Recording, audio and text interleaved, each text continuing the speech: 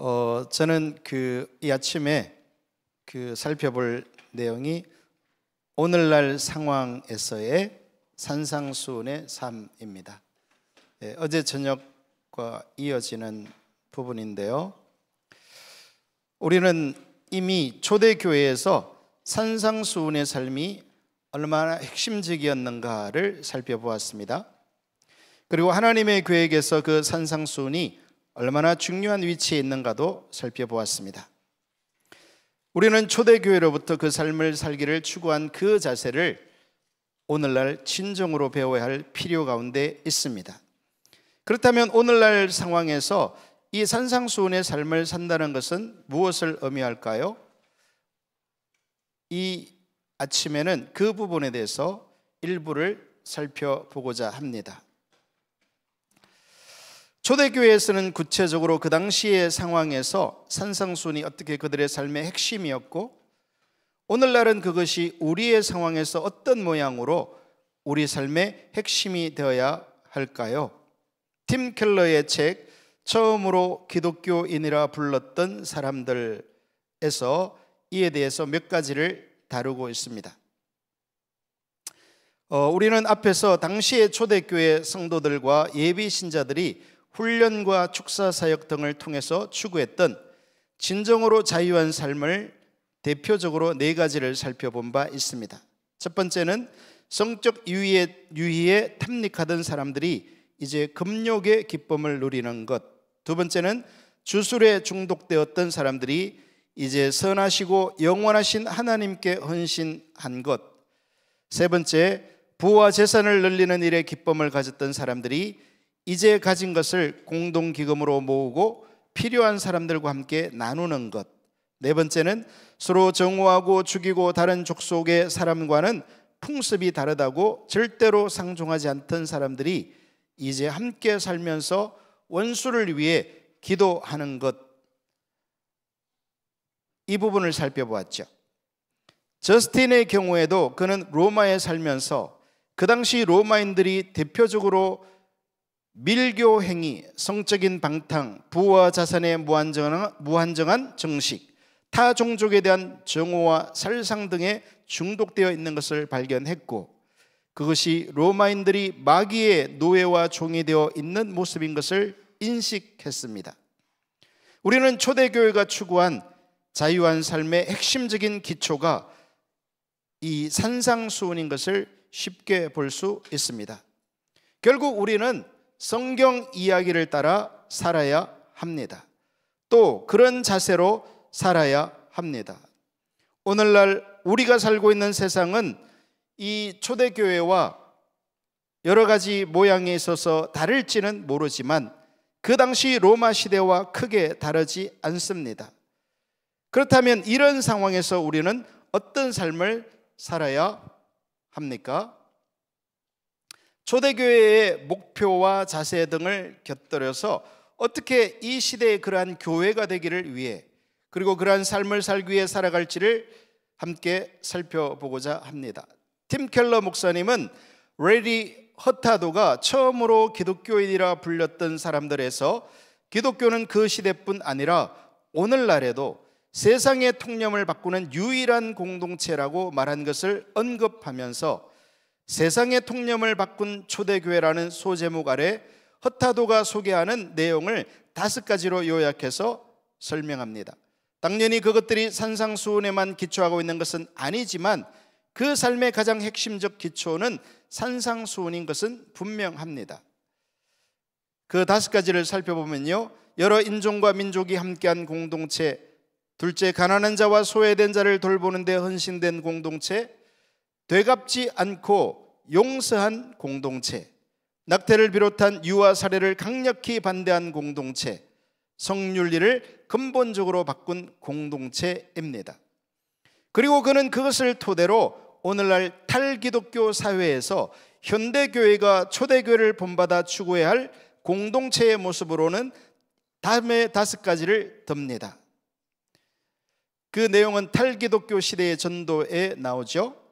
첫째, 다민족 교회를 세우는 공동체. 둘째, 가난한 자를 돌보고 정의를 추구하는 공동체. 공손한 자세로 소통하는 화평의 공동체, 생명을 소중히 여기는 공동체, 세상에 대항하는 성문화를 이루는 공동체입니다. 위의 책들을 참조하면서 오늘날의 교회가 오늘날 상황에 맞추어 산상수훈의 삶을 추구해야 할 모습으로 팀 켈러가 위에서 말한 것의 두 가지를 추구해서 일곱 가지를 이 아침에 간략히 살펴보고자 합니다. 그 일곱 가지는 저기에 나오는데요. 같이 한번 읽어볼까요? 모든 영역에서 하나님의 길을 따라 사는 진리의 공동체, 다민족 교회를 세우는 공동체, 가난한 자를 돌보고 정의를 추구하는 공동체, 화해와 화목을 이루는 평화의 공동체, 생명을 소중히 여기는 공동체, 세상에 대항하는 성문화를 이루는 공동체, 사회를 포용하고 변화시키기를 추구하는 공동체입니다. 자, 그러면 하나하나를 살펴보겠습니다. 첫째, 모든 영역에서 하나님의 길을 따라 사는 진리의 공동체. 앞에서 살펴본 것처럼 초대교회는 성경의 이야기를 따라 산 교회였습니다. 당연히 그들의 삶의 중심에는 성경이 있었습니다. 레리 허타도는 기독교가 초대교회 당시 사람들이 일반적으로 이해하는 종교와 얼마나 달랐는가를 역사적으로 다루면서 기독교 역사를 다루고 있습니다. 서기 3세기까지 사람들은 초기 기독교가 독특하며 회개하기까지 하다고 여겼습니다. 그런데 그는 그 초기 기독교를 괴상하게 만들었던 그 요소들이 오늘날 현대인들이 믿는 종교의 기본 개념을 형성하고 있다는 사실을 발견했습니다. 처음 300년 동안의 기독교에 대해서 그는 이렇게 말합니다. 실제로 이 시기에 기독교의 독특한 신앙과 구체적인 행동 강령이 형성되었는데 당시 기독교는 기득권과는 거리가 아주 멀었다. 이 흥미로운 시대의 기독교는 당시 사람들 사이에서 통용되던 종교, 경건, 정체성, 올바른 행동에 대해 도전하는 위험천만한 운동으로 비춰졌으며 그렇게 간주되었다. 고대 로마 사회에서 많은 이들은 사회 질서를 위협하는 기독교를 비종교적이고 불경하고 용납할 수 없는 종교 운동으로 생각했다. 그러면서 그가 제시한 그 당시 종교들과 다른 기독교의 특징 중 하나로 이전에는 없었던 체계 종교를 듭니다. 그러한 초대교회의 모습은 그 당시 종교보다는 오히려 철학 운동에 더 가까웠다고 그는 말하면서 그러나 그 차이를 다음과 같이 말합니다. 그러나 텍스트가 차지하는 역할을 특별히 고려의 철학 학파와의 유사성을 인정하더라도 고대의 유대, 교 회당과 초기 교회는 어디까지나 종교 공동체였다.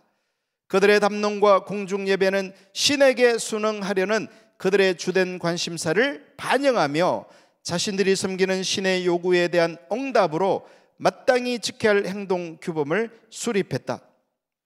좀 어려우세요? 네, 좀 이해가 안 되는 건요. 오늘 오후에 특별한 저자와의 질의 시간이 있습니다. 그래서 저자가 직접 나와서 네, 아주 쉽게 설명해 줄 거니까요. 조금 어렵더라도 네, 좀 이해해 주시면 감사하겠습니다.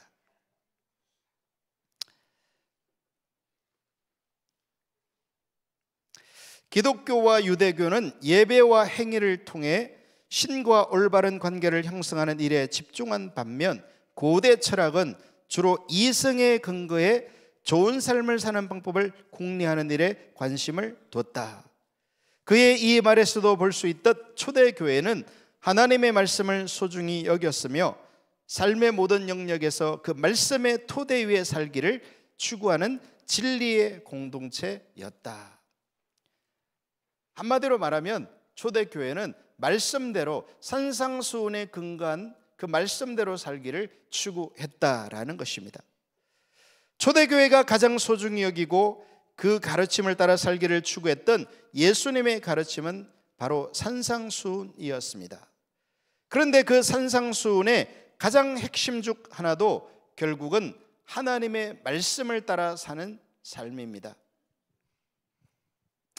마태복음 5장 17절에서 19절 내가 율법이나 선자를 폐하러 온 줄로 생각하지 말라 폐하러 온 것이 아니요 완전하게 하려 함이라 진실로 너희에게 이르노니 천지가 없어지기 전에는 율법의 1.1획도 결코 없어지지 아니하고 다 이루리라 그러므로 누구든지 이 계명 중에 지극히 작은 것 하나라도 버리고 또 그같이 사람을 가르치는 자는 천국에서 지극히 작다 일크럼을 받을 것이요 누구든지 이를 행하며 가르치는 자는 천국에서 크다 일크럼을 받으리라. 이 말씀에 이어서 예수님은 살인, 간음, 맹세, 복수 등 그 당시의 다양한 상황에 대해 하나님의 기준을 재설정하십니다. 알렌 크라이드도 초대교회에서 한 핵심이 하나님의 말씀이었다는 사실을 잘 말하고 있습니다. 초기 기독교 그리스도인들이 깨달았던 새로움의 진수는 예수 그리스도의 완전한 신적이며 인격적인 가르침이었다. 예수님과 그분의 말씀은 사람들에게 좋은 소식이었다라고 간파하고 있습니다. 오늘날 우리가 살고 있는 이 시대를 포스트 모더니즘의 시대라고 칭합니다.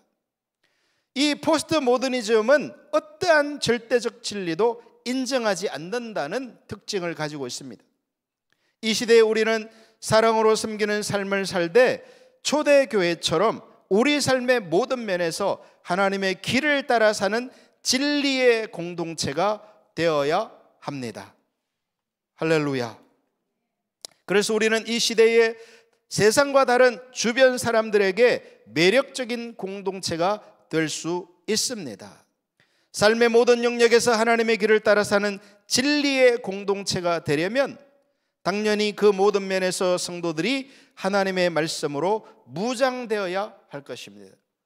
그래서 교회가요, 이 어떻게 성도들을 말씀으로 무장시킬까를 당연히 그러해야 하지만 고민하고 기도해야 할 줄로 믿습니다. 그리고 그것은 이 시대의 전도를 위해서도 매우 중요합니다.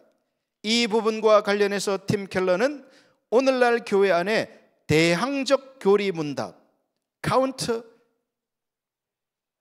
catechesis가 필요하다 주장합니다. 그가 말하는 이 대항적 교리 문답은 세상의 가르침이 아니라 성경과 교회의 가르침을 따라 기독교인의 신앙을 형성시키는 전반적인 교육 방식으로서 대항적 교리 문답은 성경의 교리를 사용하여 세상 문화가 제시하는 신념을 무너뜨리고 그 문화의 내러티브는 답변하지 못하는 인간 내면의 물음에 대답해 주는 작업을 의미합니다. 여러분 이 인간 내면에는요 어, 세상의 그 어떤 것으로도 답할 수 없는 그런 원천적인 물음이 존재합니다. 그런데 팀 켈러는 그것을 이 성경의 진리에 근거해서 답할 수 있다라고 말하고 있습니다. 그는 종교개혁 당시에는 교리 문답 교육을 통해 캐톨릭의 오류를 드러내는 등 올바른 세계관을 건설하는 작업뿐 아니라 당시 지배적인 세계관을 해체하는 작업도 함께 수행했는데 오늘날은 사실상 그런 교육이 멈춘 상태라고 간파합니다. 그래서 그 여주보 목사님께서 포도나무 교회를 이제 앞으로는 어, 등록하는 그 절차를 3년간의 교육을 통해서 초대교회와 같은 그런 수준으로 되돌려 놓겠다 이렇게 말씀하시잖아요. 왜냐하면 초대교회가 그렇게 철저하게 교육을 시켰다는 거예요. 한 예를 들어 그는 현대 사회의 세속주의는 나름대로의 명확한 교리를 가지고 광고나 트위터, 음악이나 문학, 페이스북이나 인스타그램, 유튜브 등을 통해 하루에도 수십 번씩 그것이 우리가 마주하는 현실에 대한 분명한 진리라고 주장하는데 교회는 세속적 내러티브를 해체하거나 그들의 신념을 약화시키는 방식으로 진리를 제시하지 못한다라고 그는 말합니다. 그는 세속적 내러티브가 가지고 있는 신념을 다음과 같이 매우 잘 정리합니다. 오늘날 믿지 않는 사람들이 어떻게 생각하고 있는지를 볼 수 있는 좋은 지적입니다. 어, 몇 가지 예를 들면요. 정체성, 아이덴티티를 당신은 스스로에게 솔직해야 한다라는 정체성을 가지고 있고요. 자유, 프리덤을 타인에게 피해를 주지 않는 한 당신이 선택한 대로 인생을 살아가는 자유를 누려야 한다. 여기서 이제 성적인 자유를 포함한 남에게 어떤 드러나는 피해를 끼치지 않는다면 내가 마음대로 선택할 수 있다라는 거예요. 행복에 있어서도 당신은 자신이 느끼기에 가장 행복한 일을 해야 한다. 누구를 위해서도 그 행복을 포기해서는 안 된다. 나의 행복이라면 그것을 마땅히 사수해야 한다는 게 이 포스트 모더니즘의 가치관이라는 것입니다. 과학 사이언스에 있어서도 우리의 문제를 해결할 수 있는 유일한 길은 객관적인 과학과 사실로부터만 주어진다.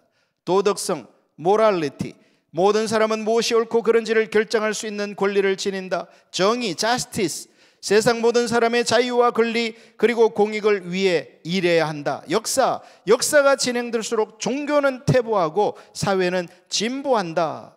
그러면서 그는 교회가 이 세상의 내러티브를 비판적으로 분석하고 약화시킨 후 어떻게 그리스도 안에서만 그 목적인 가장 온전한 형태로 성취되는지 보여주는데 초점을 맞춰야 한다고 말하고 있습니다. 팀 켈러도 교리 문답이 도덕 생태계 일부를 구성한다고 말함으로써 그것은 단순히 지적인 훈련만을 말하는 것이 아님을 나타냅니다. 그 어, 우리 그 여러 목사님들과 이렇게 식사하면서도 대화를 나눈 게 이 여주봉 목사님이 몇 년 전부터 이 선교적 교회를 나누기 시작하면서 정말 우리가 이렇게 어떤 설교나 교회에서 가르침을 너무나 하향 평준화 시켜 놓은 것이 아닌가 그런 것을 보게 된다 그런 얘기들을 나누었어요. 그런데 초대교회는 그 당시 그 로마의 강력한 문화들을 무너뜨릴 수 있는 무너뜨릴 수 있는 강력한 이 성경적 교육을 실시했다라는 겁니다. 오늘날 이 포스트 모더니즘적인 이 가치관이 얼마나 강력합니까? 근데 우리는 말씀으로서 그것을 돌파할 수 있는 이 산상수훈적 가르침을 실제적으로 추구하고 구현해내고 살아야 할 줄로 믿습니다. 그는 제임스 헌터, 라이언 올슨을 참조하면서 성품이란 교실이 아니라 특정한 공동체 안에서만 전수될 수 있다 주장합니다. 그러면서 그 대표적인 예로 마틴 루트 킹을 듭니다. 그는 그런 인물로 키운 것은 어떤 교실이나 교과서가 아니라 미국의 흑인 교회였다는 겁니다. 헌트와 올슨은 그와 같이 성품이 형성될 수 있는 공동체를 도덕 생태계라고 부르는데 그러한 공동체는 왜 선해야 하는가? 무엇이 구체적으로 선인가? 여기에는 무엇이 올바른 예배인가? 무엇이 진정한 이웃 사랑인가? 무엇이 온전한 선행인가 등도 포함됩니다. 무엇이 선하지 않은가, 누가 선한가, 어떻게 우리 일상에서 선할 수 있는가 같은 질문에 답변하는 공동체를 의미합니다. 팀 켈러는 말합니다. 강력한 도덕 생태계는 도덕의 기준을 밑바탕에 깔고 있는 보편적 설명을 요구하는데 바로 성경이 그러한 설명을 제공해 준다. 왜냐하면 도덕의 표준을 하나님의 성품에 두고 있기 때문이다.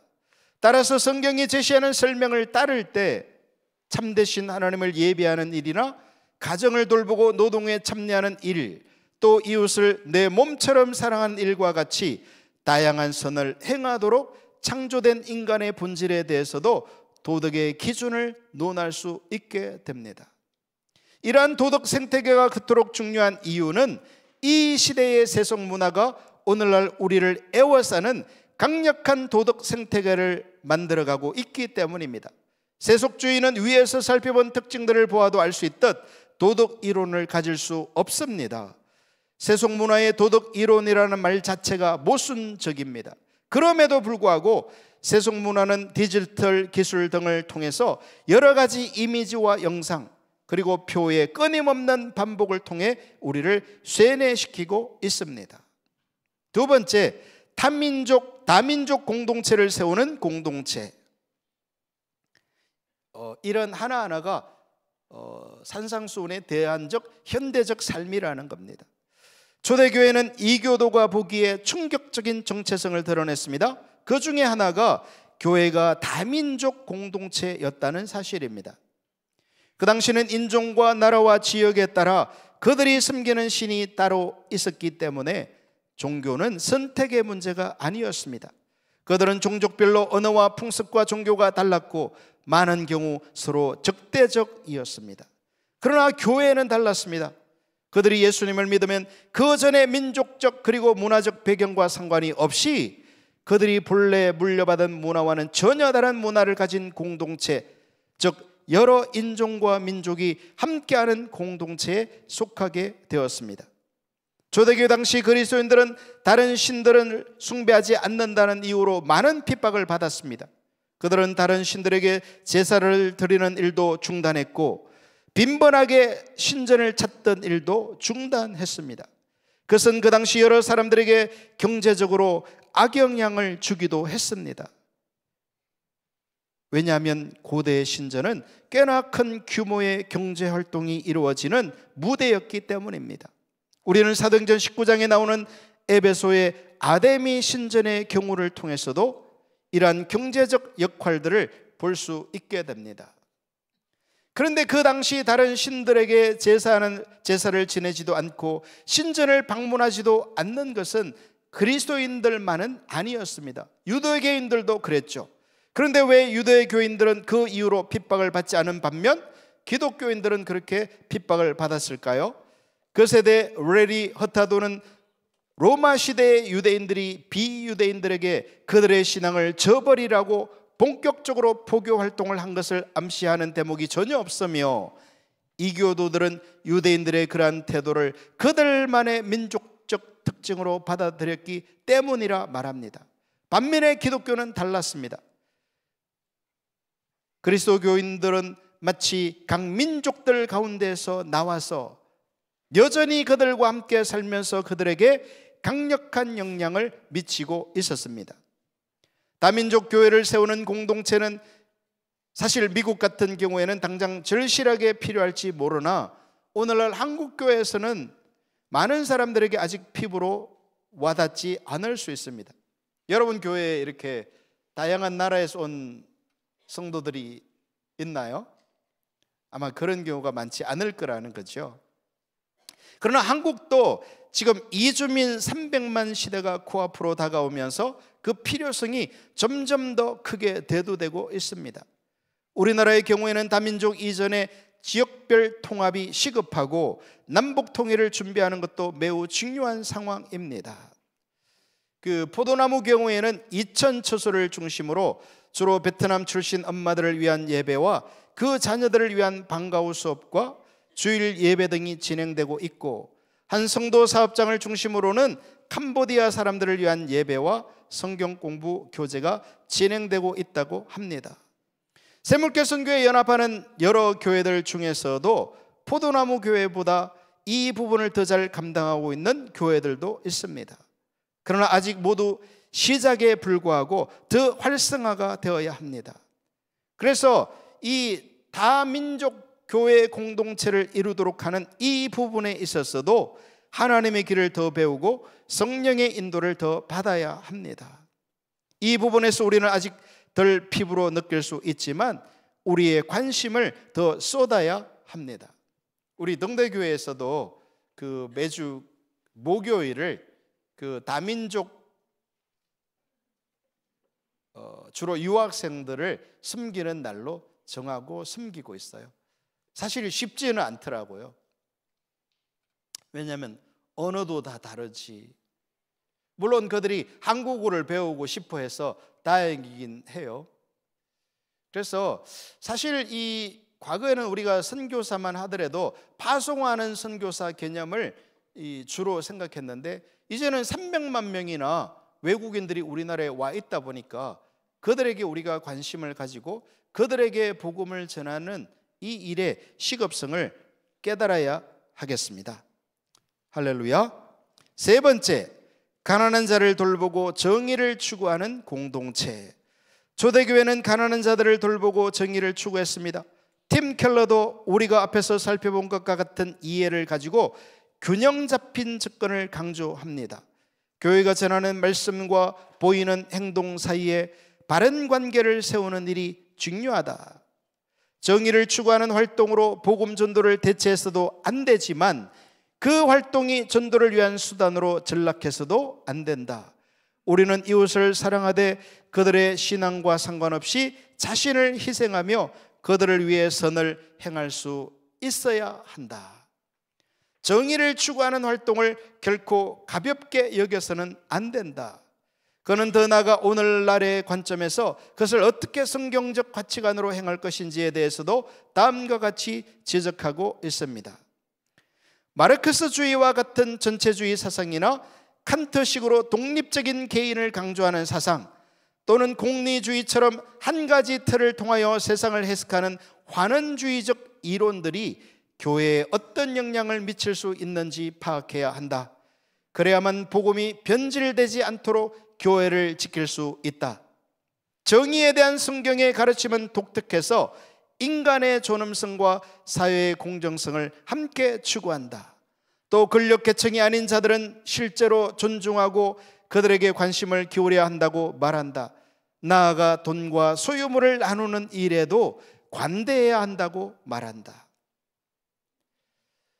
사실 그 한국 사회만 하더라도 지금 전 세계 top level의 부유한 국가임에도 여전히 이 어, 물질을 나누는 일에 우리가 이렇게 부족한 것을 많이 보게 되잖아요. 미국만 하더라도 엄청난 그 이 물질을 가진 사람들이 그것을 자신을 위해서 쓰는 게 아니라 그 뭐 그분이 저 기독교인인지는 제가 잘 모르지만 그, 그 주식으로 유명한 분이 있잖아요. 워렌 버핏이라고 그분은 주로 식사를 뭐를 먹는다 그래요? 에, 햄버거가 자기는 세상에서 햄버거가 제일 맛있대요. 근데 사실 이 햄버거는 정크푸드라고 우리가 분류하잖아요. 쓰레기 음식이라고. 근데 이분이 그렇게 햄버거만 먹으면서 모은 그 수많은 수십억 수조 달러의 돈을 어떻게 쓰고 있어요? 다 사회에다가 이렇게 기부해 버리잖아요. 청지기로서의 재물을 관리하고 가난한 자를 위한 복지에 힘쓰는 등 정의를 추구하는 동기에 있어서도 복음의 관점은 세상의 관점과 다르기 때문이다. 교회가 그 차별성을 놓치지 않을 때 복음의 우선순위를 두면서도 정의의 중요성을 함께 강조하는 사역을 이루어 갈 수가 있다. 오늘날 소비주의가 만연한 이 시대에 우리가 가난한 자를 돌보고 정의를 추구하는 공동체로 살아가는 것은 매우 중요합니다. 오늘날은 모든 것이 돈으로 계산되는 돈이 하나님 자리를 차지하고 있는 시대입니다. 심지어는 사람들이 지니고 있는 소비재가 그 사람의 인격이나 중요성을 나타내는 시기가 되었습니다. 그 뭐 성도들 중에서도 일부 그런 분들이 있겠지만 사람들과 만나면 테이블에 뭐부터 올려놔요? 아, 여기에는 그런 분들이 안 계시는군요. 가방부터 이렇게 두잖아요. 3천만 원짜리, 5천만 원이야 이거는. 즉 그 소비재가 나를 나타내는 것으로 인식하는 시대에 우리가 살고 있다는 거예요. 그러한 상황에서 우리의 보물을 하늘에 쌓아두라 말씀하신 예수님의 산상수훈을 실천하는 것이 그 어느 때보다 절실한 상황입니다. 우리가 우리의 보화를 하늘에 쌓아놓는 방법은 마태복음 6장이 말하는 것처럼 헌금과 구제입니다. 초대교회는 그러한 삶을 살아냈던 것입니다. 네 번째, 화해와 화목을 이루는 평화의 공동체. 제가 일곱 개를 살펴볼 거니까요. 저도 목이 많이 타네요.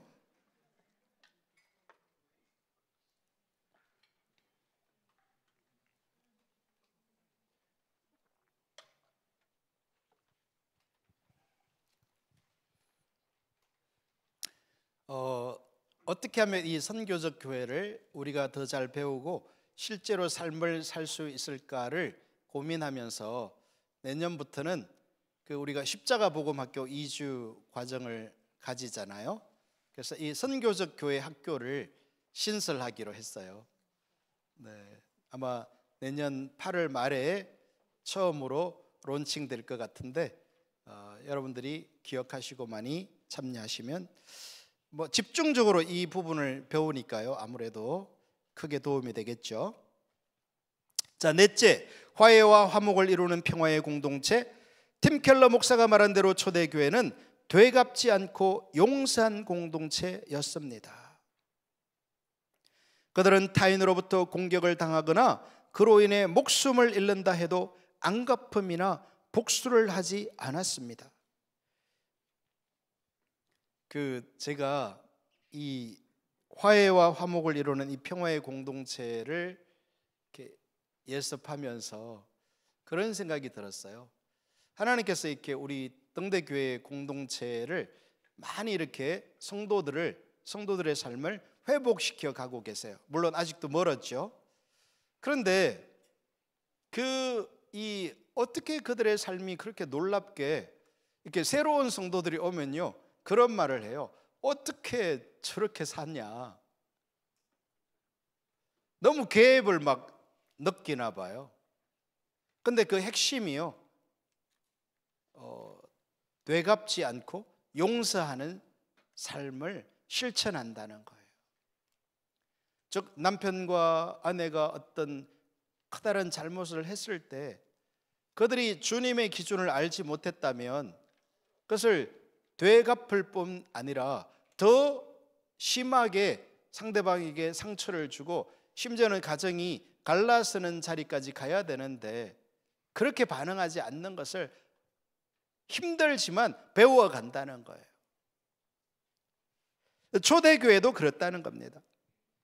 심지어는 처형을 당하거나 원년 경기장에서 죽임을 당하는 순간에도 예수님과 스데반이 그랬던 것처럼 오히려 핍박하는 자들을 위해 기도하기로 유명했습니다.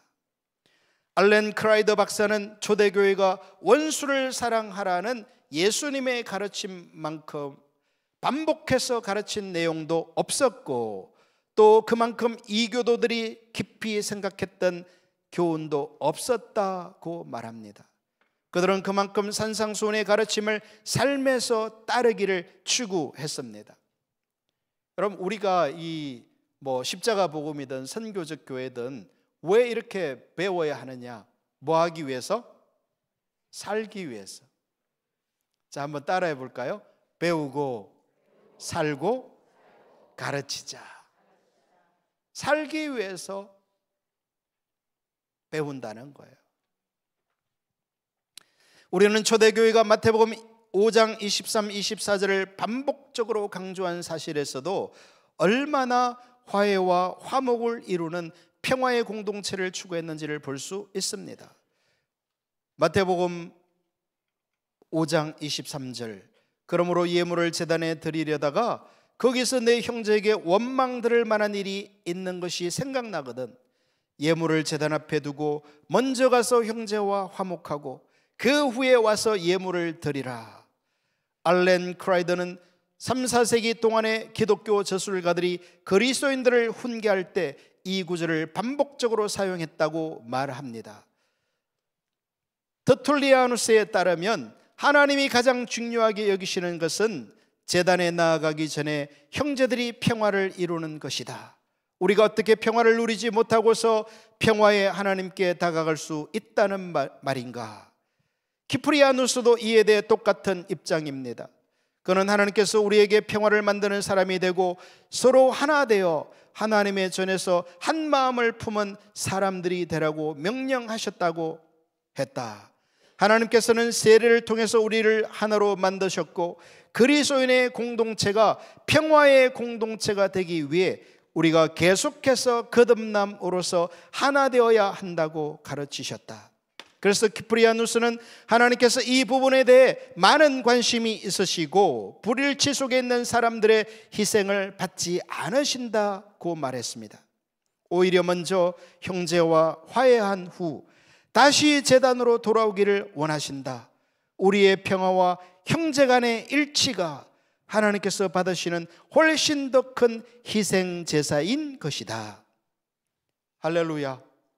삶에서 그러니까 관계 안에 막힌 영역들을 해결하기 위해서 왕 대신 주님 앞에 납작 엎드리는 자세가 필수인 것이죠. 우리가 앞에서 살펴본 것처럼 초대교회는 전 세계에 걸치는 우주적인 평화의 공동체 건설을 추구했습니다. 그리고 초대교회가 인용한 구약의 어떤 구절보다도 더 자주 인용한 구절이 이사야 2장 2절 2장 2절에서 4절과 미가서 4장 1절에서 4절이었습니다. 마릴의 여호와의 전에 산 산이 모든 산 꼭대기에 굳게 설 것이요. 모든 작은 산 위에 뛰어나리니 만방이 그리로 모여들 것이라. 많은 백성이 가며 이르기를 오라 우리가 여호와의 산에 오르며 야곱의 하나님의 전에 이르자. 그가 그의 길을 우리에게 가르치실 것이라 우리가 그 길로 행하리라 하리니 이는 율법이 시온에서부터 나올 것이요 여호와의 말씀이 예루살렘에서부터 나올 것임이니라 그가 열방 사이에 판단하시며 많은 백성을 판결하시리니 무리가 그들의 칼을 쳐서 보습을 만들고 그들의 창을 쳐서 낫을 만들 것이며 이 나라와 저 나라가 다시는 칼을 들고 서로 치지 아니하며 다시는 전쟁을 연습하지 아니하리라. 그래서 그들은 예비 신자들이 군인인 경우에는 살인을 하지 않겠다는 서약을 하게 하고 그 서약을 하지 않으면 예비 신자로도 받아들이지 않았습니다. 물론 전쟁에 관한 이해는 오늘날 달라질 수 있겠으나 그만큼 그들은 용서와 화해의 평화의 공동체를 추구했던 것은 분명합니다. 무엇보다 그들이 얼마나 평화와 평등의 공동체를 추구했는지 평화의 입맞춤에서 볼 수 있습니다. 초대교회 당시 이교도들에게 가장 특이하게 보이는 한 가지 의식은 평화의 입맞춤이었습니다.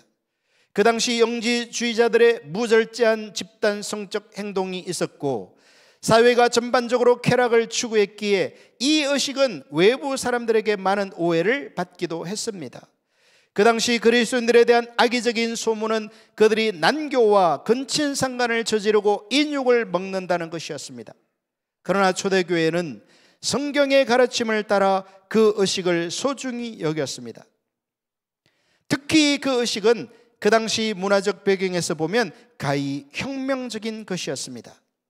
초대교회 당시는 철저한 계급 사회였습니다. 황제에게 어떤 사람이 입 맞춘다면 그는 황제의 신발에 입을 맞췄을 것입니다.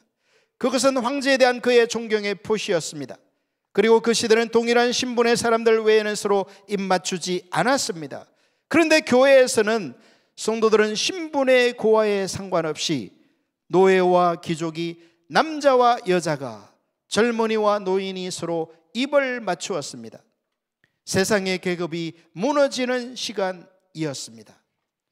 사실 그 우리나라에서도요, 이 초기에 복음이 전했었을 때 그 양반과 소위 쌍놈이 한 교회 안에 있는데 어떤 경우에는 그 종이 장로님이 되고 주인이 이렇게 장로님이 되지 않아서 교회에서 그 사람을 숨기는 그런 일도 있었다고 그럽니다. 그러니까 사실 우리나라만 하더라도 초기 이 기독교는 그 초대교회의 가치관을 그대로 수용한 측면이 있었죠.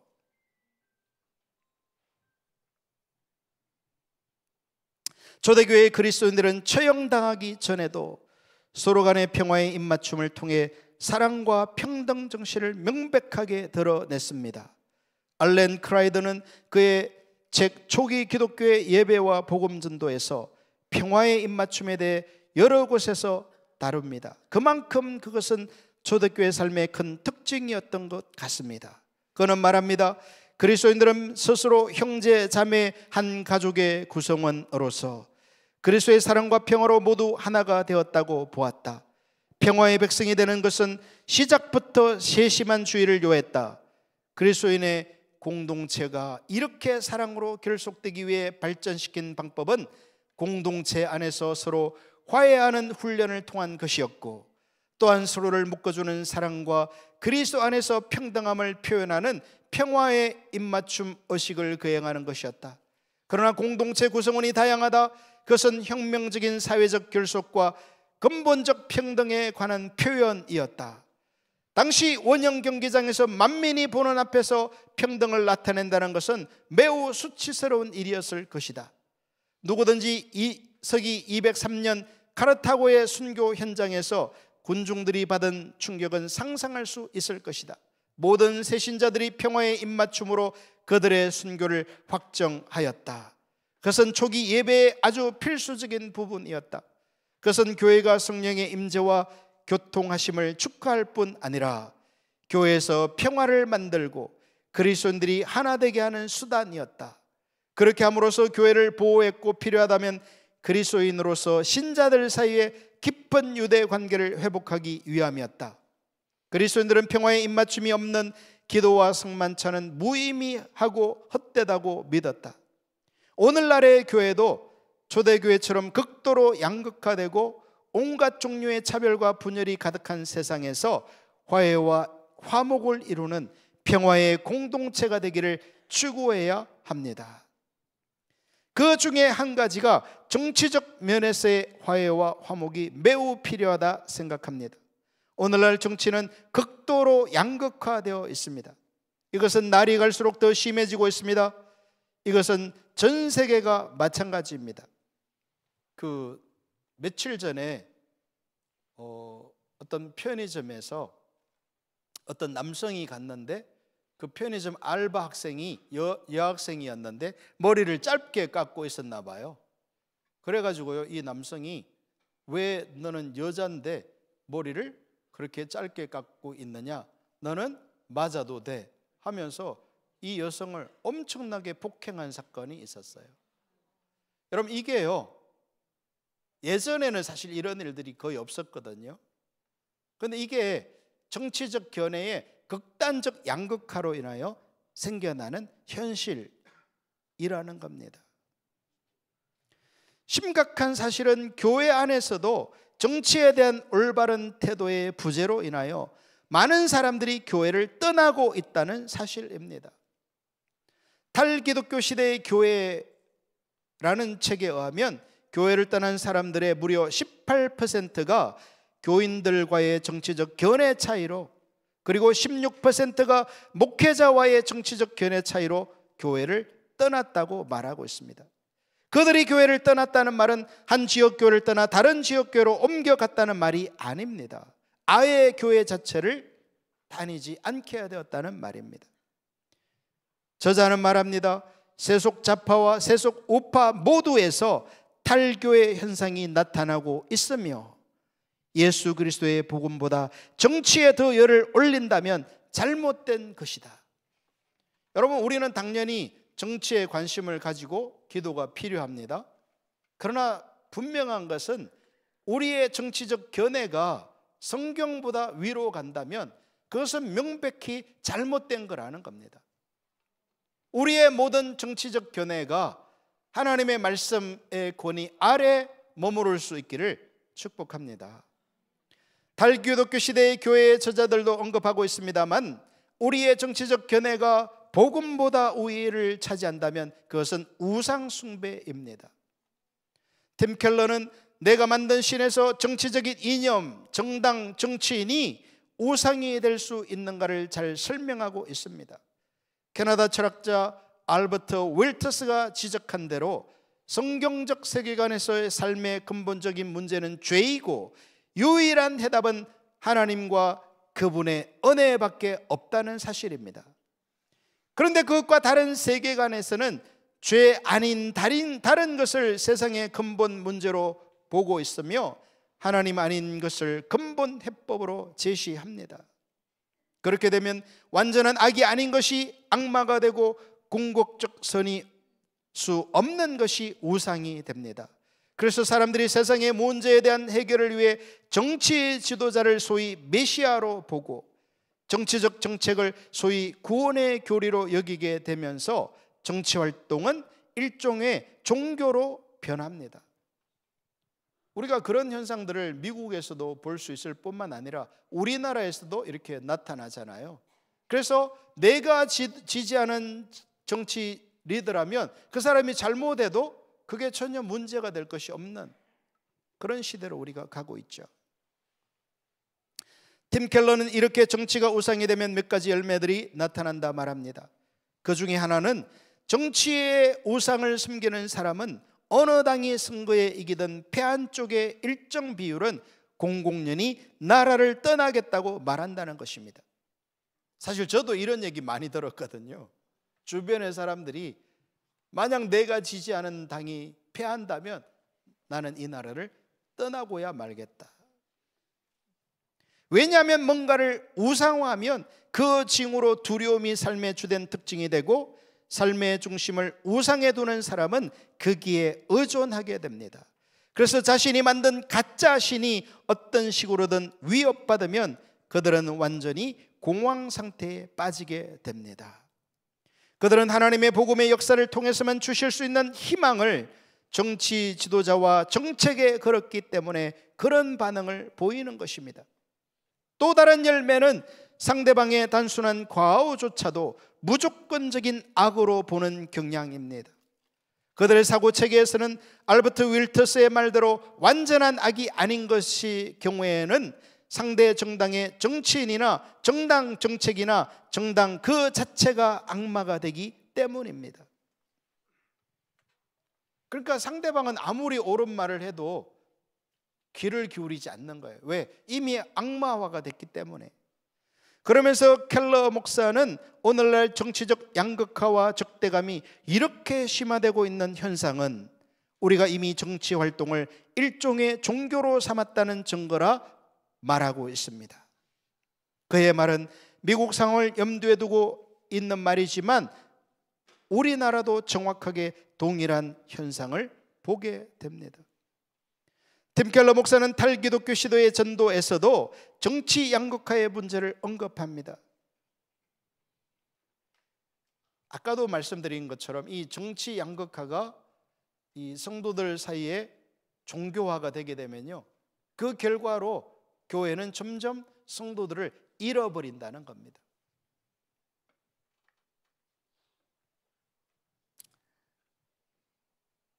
미국의 상황에 대해 이렇게 말합니다. 10년 전만 하더라도 극단적인 인물이라고 여겨질 수밖에 없었던 후보, 후보에게 표를 던진다. 이는 보수나 진보나 마찬가지다.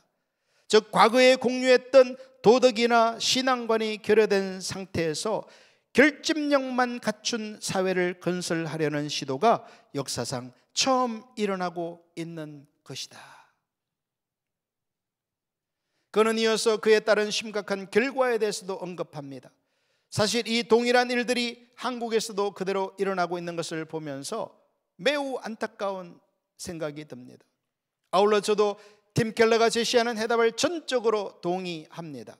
심각한 문제는 교회가 이런 양극화에 사로잡혀 진보든 보수든 정치적 연합을 위한 수단으로 전락하고 있다는 점이다. 현재 미국을 예로 들면 진보 복음주의, 블루 에반젤리칼리즘과 보수 복음주의, 레드 에반젤리칼리즘이 함께 발흥하는 양상을 보인다. 전자는 인종과 경제 문제에 대해서는 정의를 외친다.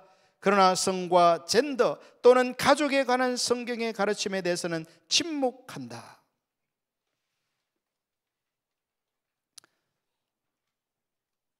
그 미국 전체 주가 다 그런 건 아닌데요. 미국의 일부 주에서는 뭐 상당한 주, 가 그렇습니다만은 이 과거에는 성을 바꾸려면 어, 성전환 수술이나 아니면 화학적 그런 치료 요법을 받아야만 그 과정을 거쳐야만 성전환을 할 수 있었어요. 그러나 이제는 법을 바꾸어서 내가 남성인데 여성이라고 선언하기만 하면 성이 바뀌는 거예요. 그래서요, 심지어는 그 미국 의회에서 논쟁이 되기도 한 사건인데 어떤 키가 190cm가 되는 남성이 범죄를 저질렀는데 이 사람은 주로 소아성애 그러니까 어린아이를 강간하는 일을 몇 번이나 저지른 거예요. 그래서 이 사람은 당연히 붙잡혔고 구속이 됐어요. 그런데 이 사람이 10년쯤 넘게 감옥에 있다가 무슨 생각이 들었냐면 아 지금 미국의 법들이 내가 남성인데 여성이라고 선언만 하면 여성이 된다는 것을 이용하기로 결심했어요. 그래서 이 사람이 그렇게 선언하고 나를 여자 감옥으로 보내달라는 거예요.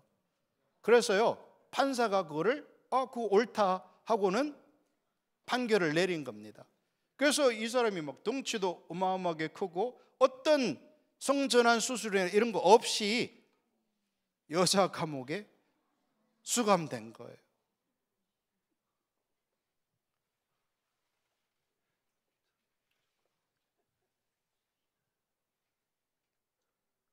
그리고 실제로 미국에서는요, 그런 그 한 사람만 있는 게 아닙니다. 그런 신뢰로 인해서 수많은 성적 범죄들이 일어나고 있다는 거예요. 그리고 그러기 때문에 뭐 미국이 목욕탕 문화가 일반화되지는 않았지만 내가 여성이라고 선언하기만 하면 이제 여성이기 때문에 여성 목욕탕에 들어갈 수 있는 거예요. 심지어는 어떤 팀에서 뭐 축구나 이런 거는 팀이잖아요. 한 팀이 경기가 끝나면 함께 이제 샤워를 하는데 이렇게 선언한 어떤 남성인지 여성인지가 여성으로 이렇게 선언하니까 그 동료들이 함께 샤워하기를 거부하니까 이 사람이 그 동료들이 올 때까지 자기가 샤워하지 않고 기다리는. 이게 도대체 뭐예요? 이 정도로. 근데 여러분 이게요 저는 미국 이야기인 줄로만 생각했는데 최근에 한국에서도요 법원 판결이 이제 더 이상 한국에서도 성전환 수술이나 그런 어떤 치료 없이 선언만으로 젠더를 바꿀 수 있는 그런 판결을 내린 적이 있어요. 여러분 미국만의 얘기가 아닙니다. 그래서 이 후자는 성적 부도덕, 부도덕과 세속주의에 대해서는 강하게 질책한다. 보수주의에서는 그런다는 거예요. 하지만 보수 정권이 이민자나 소수 집단에게 부당한 처우를 해서 인종간 다툼이 발생할 때는 별다른 소리를 내지 않는다. 이처럼 교회가 정치 권력을 손에 넣으려고 좌로든 우로든 세속 정권과 결탁하면 영적 권세는 상실되고 비기독교인 앞에서 신뢰를 잃어버린다. 우리 주변을 돌아보면 정치적 노예가 되어버린 신자가 얼마나 많은지 모른다. 여러분, 어, 제가 보기에 이제 뭐 저는 세목교 선교 안에 교회들을 다 안 가봐서 모르지만 우리 안에는 그래도 이런 현상들이 비교적 덜한 것 같아요. 그러나 지금 한국 교회 안에서도 이런 정치적 견해로 인해서 얼마나 정치적 노예가 되어버린 신자, the political captivity of the faithful, 포로로 사로잡혀 버렸다는 거예요. 영적으로 보면. 이러한 문제의 해결책은 정치와 무관한 삶을 사는데 있지 않다. 그리고 그러한 삶은 비현실적이고 가능하지도 않다. 기독교회는 정치에 참여하되 세상을 지배하는 이데올로기에 굴복하지 않도록 비판 의식을 갖추어야 한다. 그래야만 부패하는 세상에서 함께 썩어버리지 않고 빛과 소금으로 살아갈 수 있기 때문이다. 그 외에도 우리나라는 경제적으로, 세대적으로, 지역적으로 남북한으로 심각하게 분열되어 있는 상황입니다. 이 상황에서 교회가 초대교회처럼 화목과 화해를 이루는 평화의 공동체가 되는 것은 매우 중요합니다. 그것은 이 시대에 안 믿는 주변 사람들에게 매력적인 산위의 도시가 될 것입니다. 다섯 번째, 생명을 소중히 여기는 공동체. 초대교회는 생명을 소중히 여기는 공동체였습니다. 허타도에 의하면 그 당시 로마 시대에는 영아 유기가 성행했습니다. 영아 유기는 원치 않는 아기를 쓰레기장이나 외딴 곳에 버리는 행위를 말합니다. 사실 우리나라에서도 이런 일들이 종종 일어나고 있죠. 그렇게 버려진 아기는 죽거나 맹수에게 먹히거나 누군가에게 길러져 노예가 되었습니다. 그런데 그런 행위는 그 당시 사회적으로 분노를 일으키거나 공분을 사는 일이 아니라 그저 보편적인 일상의 한 부분이었습니다. 한 연구 결과에 따르면 로마 제국은 연간 50만 명이 넘는 새로운 노예가 필요했고 그 가운데 15만 명은 유기된 아기를 길러 충당했을 것으로 추정합니다. 그 노예 중 일부는 남학은 유학은 사창가의 성노예로 길러져서 주인에게 봉사되거나 다른 주인에게 팔리기도 했습니다. 초대교회는 그러한 행위를 강력하게 비판하고 반대했습니다. 초대교회의 그러한 행동이 비기독교인들의 심기를 불편하게 하고 심지어 적개심을 불러 일으킬 수도 있었지만 그리스도인들은 그러한 사회적 행동 양식을 바꾸려는 목적 아래 그렇게 했습니다. 초대교회는 그러한 로마의 행위를 비판할 뿐 아니라 버려진 아기를 발견하면 데리고 가서 양육했습니다. 알렌 크라이더는 레인 폭스를 참조해서 다음과 같이 말하는데 거기에서도 우리는 이 사실을 확인할 수 있습니다. 기독교는 사회에서 가장 소외된 집단의 사람들, 여성, 노예, 버려진 사생아가 의사 표시를 할 수 있게 했다. 알로 팀 켈러 목사는 초대교회가 낙태를 반대했다는 사실도 언급하고 있습니다. 그런 차원에서 초대교회는 낙태에 반대했으며 이는 자기 민족을 중심으로 개청화되어 명예만 중시하던 당시 사회에 충격을 주었다. 그만큼 초대교회는 생명을 소중히 여기는 공동체였습니다. 오늘날의 교회도 이렇게 생명을 소중히 여기는 공동체가 되어야 합니다. 그것은 성경적으로 볼 때 반드시 그래야 할 뿐 아니라 갈수록 생명을 경시하는 것이 심해지는 이 시대에 매우 중요합니다. 그것은 오늘날 여러 가지 면에서 적용될 수 있을 것입니다. 그 중에 하나는 낙태에 대한 반대입니다.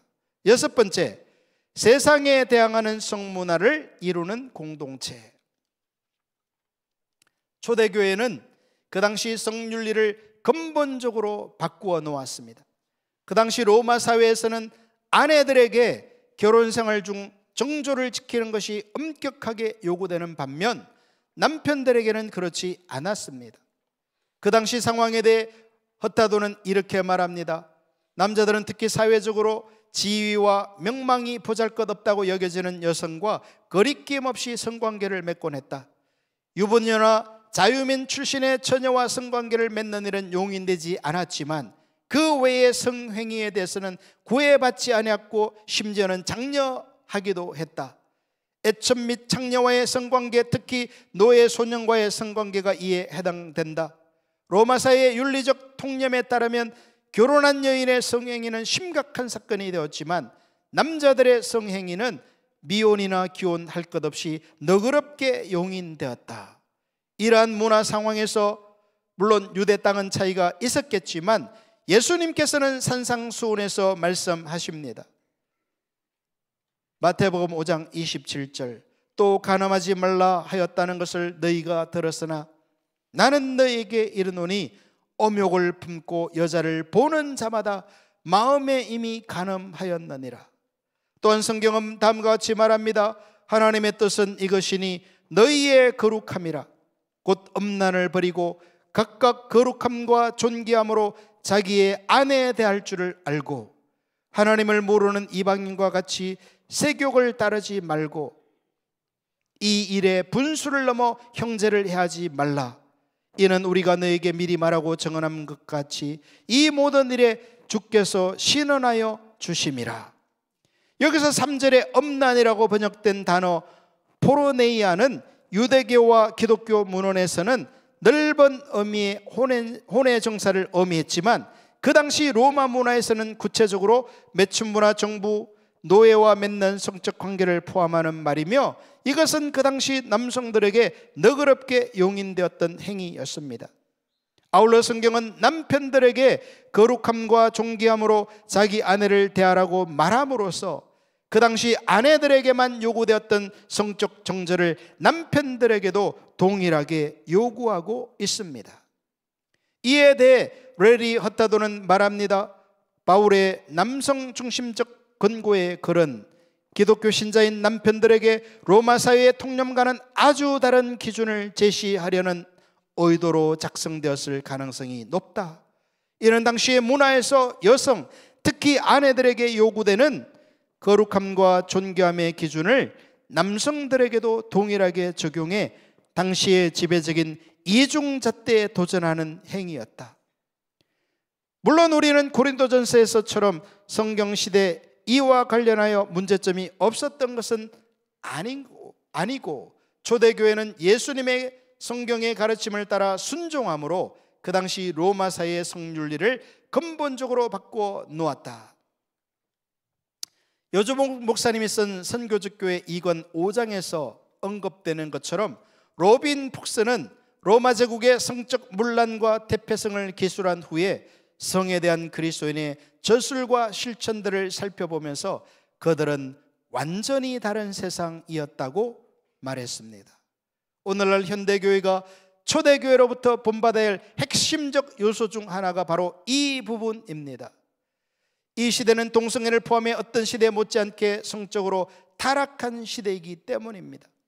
오히려 안 믿는 사람들은 기독교의 성에 대한 이해를 편협하고 잘못된 것이라고까지 생각합니다. 세상 사람들의 그러한 인식을 팀 켈러 목사는 이렇게 표현합니다. 많은 이들은 기독교가 성 자체에 대해 부정적이고 건강하지 못한 시각을 가지고 있다고 여긴다. 특히 동성애자에 대하여서는 더욱 그렇다고 여긴다. 즉 성에 대한 기독교의 관점이 자신만의 정체성을 중시하는 시대 정신에 반한다고 보는 것이다. 이는 자아 성취를 추구할 수 있는 자유를 억압하고 진정한 자기를 경험할 수 있는 성적 표현이나 친밀한 행동을 관념적으로 다룬다고 이해하기 때문이다. 한마디로 기독교의 성윤리가 비현실적일 뿐만 아니라 가혹하다는 게 그들의 주장이다. 그러나 성관계가 자아 성취나 실현을 위한 수단이라고 생각하는 지금 세상의 이해는 결코 건강하지 못합니다. 그래서 팀 켈러는 말합니다. 오늘날 교회는 성관계가 자아 성취나 실현을 위한, 위한 수단이라 주장하는 세상의 성문화 논리를 간파해야 한다. 또 그러한 논리가 결국에는 우리 모두를 비인격적 대상으로 취급한다는 사실을 지적해야 한다. 그러한 성은 공동체를 분열시키고 결혼과 가정 생활을 무너뜨린다. 혼의 관계는 결국 거래의 수단으로 이어지기 때문에 진정한 친밀성을 허락하지 않는다. 그래서요, 요즘 그 이 대학생들 남녀 학생을 불문하고 이렇게 결혼하지 않는 혼전 동거를 거의 70% 가까이가 찬성하는 그런 설문조사를 볼 수 있어요. 나아가 로마 사회든 현대 사회든 세상 문화가 성관계를 논하는 방식은 언제나 여성에게 피해를 주기 마련이다. 이와 달리 기독교가 말하는 성관계는 서로에 대한 깊은 배려를 바탕으로 한다. 자신의 인생을 상대를 위해 내어주며 헌신할 준비가 되어 있는 자들에게만 그러한 관계가 허락되기 때문이다. 그래서 팀 켈러는 결혼을 말하다라는 책에서 결혼은 상대방을 위한 숨김의 과정이다 이렇게 말하고 있어요. 사실 오늘날 젊은이들이 이렇게 결혼을 하면서 상대방을 향한 숨김의 그런 마음들이 거의 없잖아요. 오로지 나를 위하라. 나를 기쁘게 하라. 나를 만족시키라. 이런 관점을 가지고 결혼 생활에 임하다 보니까 그 결혼 생활은 종래에 심각한 위기에 봉착되고 마는 것이죠. 초대교회는 고대 사회가 무엇인가를 미신적으로 금기시하며 억압했던 문화의 연장선상에서 그러한 성윤리를 고수했던 게 아닙니다. 기독교 성윤리는 근본적으로 혁명적이었습니다. 마지막으로 드디어 마지막이 오네요. 사회를 포용하고 변화시키기를 추구하는 공동체. 신약의 교회는 열방의 빛으로서의 이스라엘의 정체성을 그대로 이어받는 산 위의 도시입니다. 한번 따라해 볼까요? 열방의 빛, 산 위의 도시. 또한 신약의 교회는 세상의 소금입니다. 그 당시 소금은 음식의 맛을 내는 데뿐 아니라 음식이 썩지 않도록 보존하는 데도 사용되었습니다. 우리나라의 경우에도 우리가 어렸을 때만 해도 그랬죠. 우리는 이전 책들에서 이미 그러한 교회의 정체성과 문화를 구속하는 소명을 살펴보았습니다.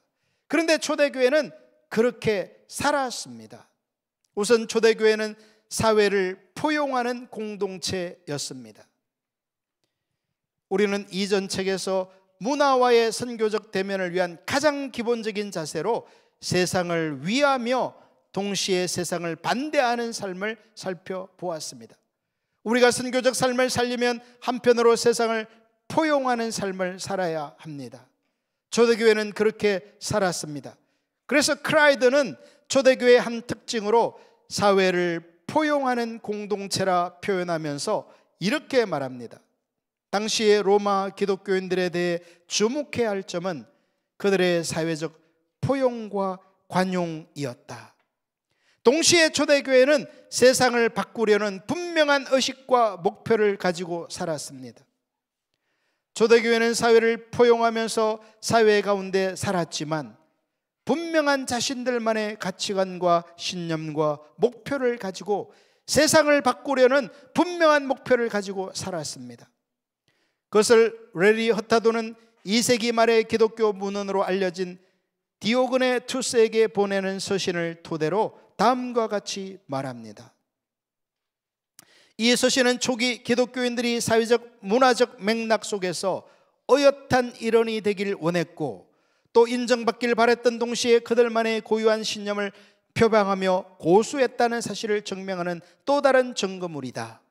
그 서신은 세 가지 질문을 다루는데 특히 세 번째 질문은 어째서 이 새로운 종족과 이 새로운 생활 방식이 더 일찍 등장하지 않고 이제야 세상에 등장했는가입니다.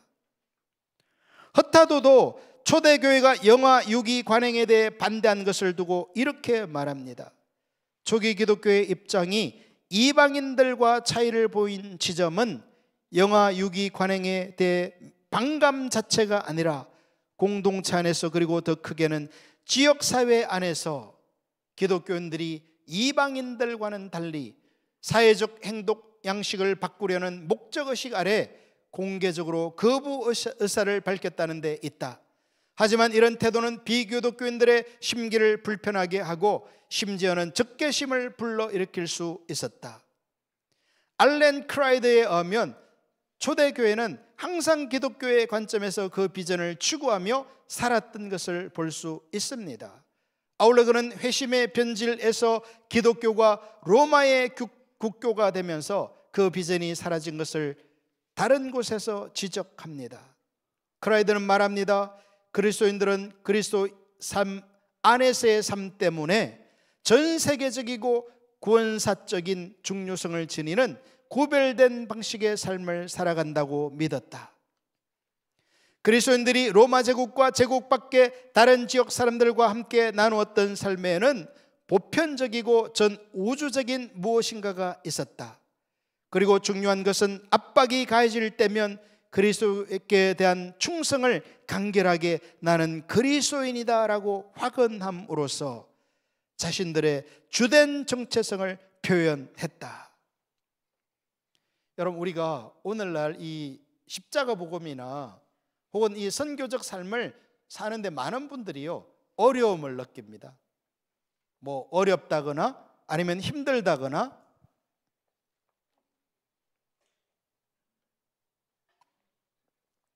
뭐 어떻게 그런 삶을 산다거나 이런 어려움들을 토로하는 것을 보게 됩니다. 근데 여러분, 우리가 이 초대교회 성도들이 가지고 있었던 이 나는 그리스도인이다. 즉, 나는 작은 예수다라는 주님을 향한 이 헌신과 희생의 자세가 우리에게 강하게 부어진다면 우리는 반드시 십자가 복음의 삶을 살 뿐만 아니라 이 선교적 교회의 삶을 삶 속에서 살아내게 될 것입니다. 물론 은혜가 많이 필요하죠. 그래서 한편으로 우리가 이 하나님의 은혜를 구함과 동시에 우리의 자세, 우리의 내면을 살펴보는 게 필요한 것 같아요. 제가 이렇게 제 아내한테 이렇게 늘 감사하는 것은 제 아내가 늘 이렇게 자극을 줘요. 여러분은 자극을 싫어하십니까? 저는 제가 이렇게 좀 인식이 아, 내가 이렇게 어, 주님이 내 안에 내가 주님 안에 있는 그 삶이 이렇게 안 될 때면 늘 아내가 당신 좀 문제 있는 것 같아요. 지금 친밀함이 옅어진 것 같아요.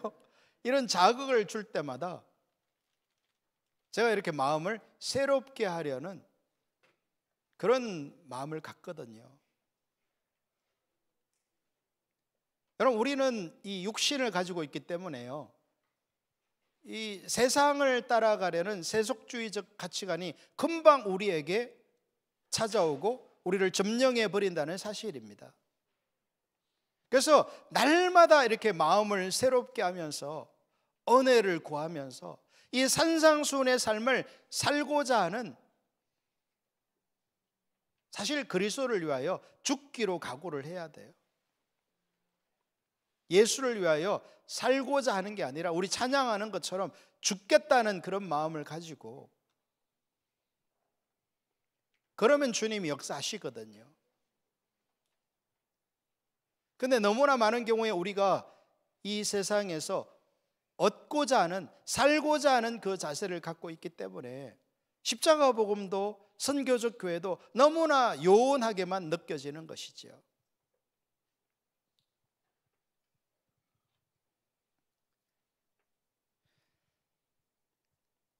그래서 이 크레이드 어, 교수는 그렇게 말하고 있는 거예요.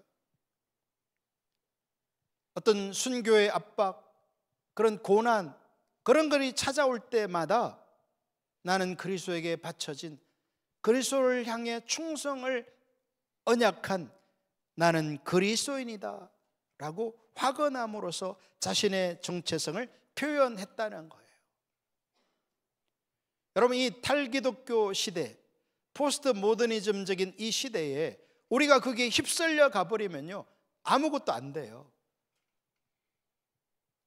우리 이 초대교회 성도들이 가졌던 그 정체성을 회복하는 저와 여러분이 되기를 축복합니다. 터툴리아누스도 그리스도인에 충성하는 마음이 전 세계적 수준이라는 것을 발견했다.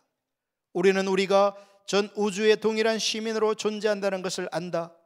그리스도 예수의 화평케 하시는 사역과 그의 제자들이 원수를 사랑하는 삶의 뿌리를 두는 이러한 세계 평화에 대한 비전은 이사야서 2장 2절에서 4절, 미가서 4장 1절에서 4절에 칼을 쳐서 보습을 만든다는 말씀에 잘 드러났고 이 말씀은 초기 기독교 공동체들이 인용한 다른 어떤 구절보다도 더 빈번하게 사용된 말이었다.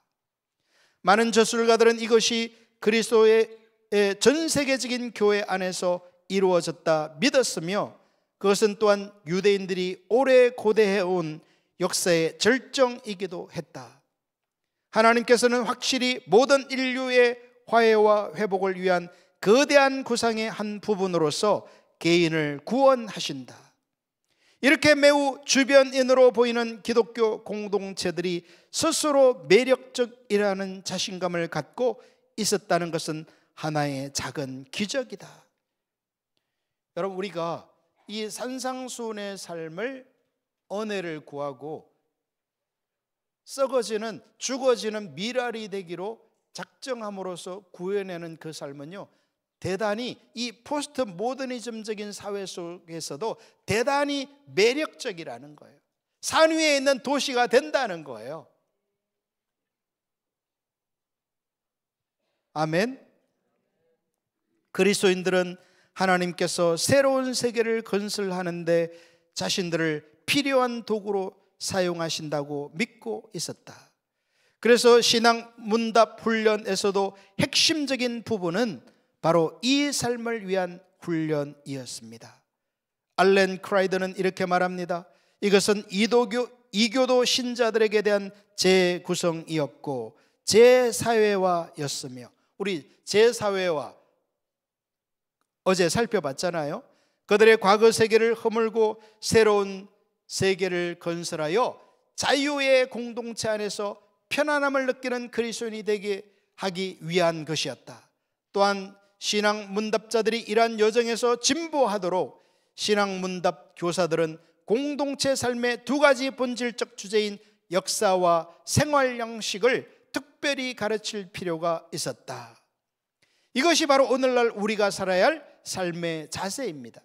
이것이 오늘날 우리가 문화와의 선교적 만남에서 살아가야 할 자세입니다. 그리고 이 문화를 구속하기 위해 살아야 할 자세입니다. 데이비드 보쉬는 초기 기독교 선교의 성격에 대해 말하면서 그것의 혁명적 성격을 강조합니다. 여러분 이 기독교의 성격은요. 그 한 20년 전에 어떤 분이 레디칼이라는 그 베스트셀러를 쓰기도 했잖아요. 그 레디칼이라는 말 자체가 혁명적, 극단적이다라는 표현을 가지고 있거든요. 기독교 신앙은 한편으로 혁명적이에요. 그래서 이 그리스도에게 드려진 마음이 없는 사람은요, 그 삶을 살 마음 자체가 없어요. 근데 그렇게 되면 문제가 삶에 어떤 변화도 없다라는 거예요. 교회가 세워져야 한다고 여주호 목사님이 말씀하시는데 절대로 교회가 세워지지 않아요, 그러면. 이거는 교회 숫자와 상관없이 교회가 성경이 말하는 그러한 공동체로 세워져야 하는데 그 혁명적인 가르침을 그대로 받아들여야 돼요. 할렐루야. 최근에 이렇게 하나님께서 제가 이렇게 기도하는 가운데 더 잘 배우라 라는 그런 감동을 반복적으로 주셨어요. 아마 제가 잘 못 배우고 있나 봐요.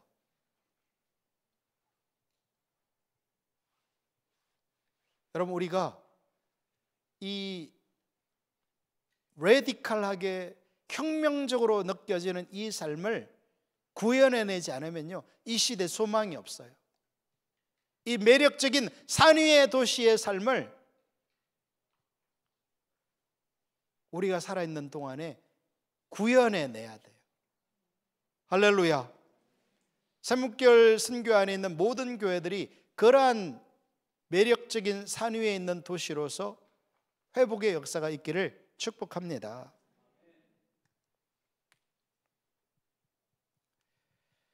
데이비드 보쉬는 이러한 초기 기독교 선교의 성격에 대해서 그것은 혁명적 성격을 강조합니다.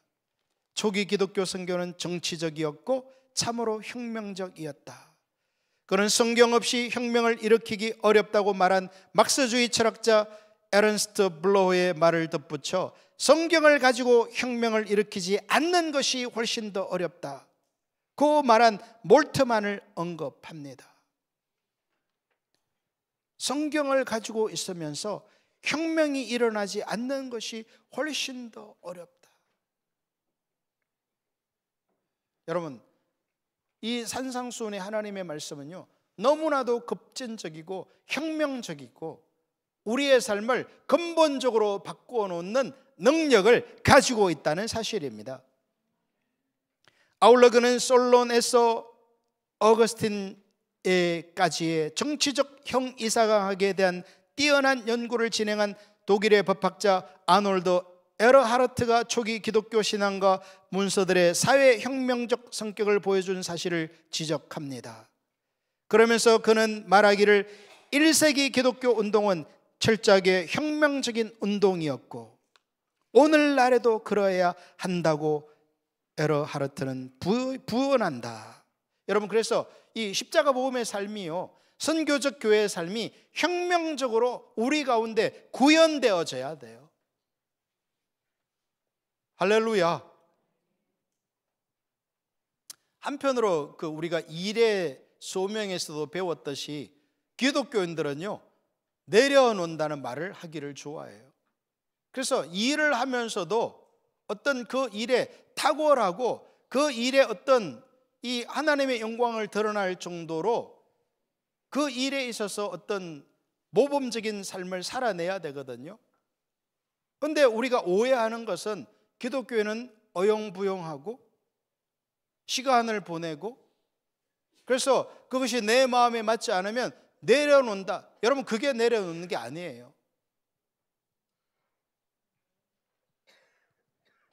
우리가 너무나 이 복음의 혁명적 성격들을 오해하고 있는 것이죠. 우리는 공포나 파괴의 측면에서의 혁명이 아니라 제공하는 대안이라는 측면에서 혁명들을 평가해야 한다는 점을 명심해야 한다. 그리스 로마 세계 속에서 선교 사역을 하면서 초대교회는 그러한 대안을 제공하였다. 모든 신들을 거부하였고 만연하던 정치적 이론들의 형이상학적 기초들을 파괴했다. 아주 다양한 유형들이 인정되던 당시의 정치와 종교적 상황에서 그리스도인들은 예수를 만주의 주로 고백했는데 이것은 기독교 1세기 로마 제국 안에서 가장 혁명적이고 정치적인 표출이었다. 예수가 큐리오스라는 이 주장은 사실 지금도요, 우리의 삶을 가장 혁신적으로 바꾸어 놓을 수 있는 고백이라고 믿습니다. 즉, 우리가 그리스도가 주가 아닌 내가 주인이 되어 살기 때문에 삶 속에 아무런 일이 안 일어나는 거죠. 사적인 일로의 종교, 영적인 것과 물질적인 것의 분리라는 개념은 예수에 의해 시작된 하나님 통치의 전 포괄적 성격에 비추어 볼 때 생각할 수도 없는 태도였다. 하나님이 우주적인 모든 것을 통치하고 있는데 여러분 지난번 그, 그 우리나라에서 한 달 전쯤인가요? 어떤 청문회가 있었잖아요. 그 뭐죠? 그 네? 어떤 청문회가 있었어요. 근데 거기서 그분이 아마 제가 보기에는 장로님 같아 보였는데 어, 자기의 그런 종교적 어, 믿음을 과감하게 이렇게 선언하셨잖아요. 그랬더니 그것을 계속 공격하면서 한 주된 말이 아마 그, 그 다른 그 질문하는 분들이 다 달랐는데도 계속 하는 말이 뭐였냐면 왜 당신의 사적 신앙을 가지고 공적 영역을 그대로 수행하려고 하느냐. 신앙은 사적인 것인데 그 말을 계속 하더라고요. 근데 그러한 자신의 종교적 입장을 신앙의 입장을 표명하는 그분도 그 종교가 당신의 사적 영역이라는 그 말에는 수긍하는 것처럼 보였어요. 여러분 기독교는 사적 영역이 아닙니다. 처음부터 기독교는 공적 영역으로 출발하였고 우리가 그 영역을 회복해야 하는 거예요.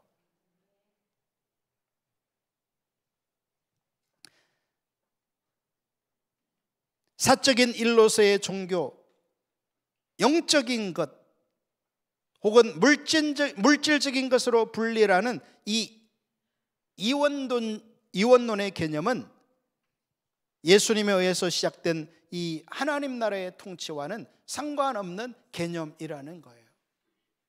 그래서 우리는 우리의 삶의 모든 영역에 있어서 그게 목회든 직장이든 가정이든 모든 영역에서 주님이 큐리오스가 예수가 큐리오스가 되셔서 나를 통치하신다. 그 삶 앞에 우리를 온전히 내어 드리는 것이 필요하다라는 것입니다.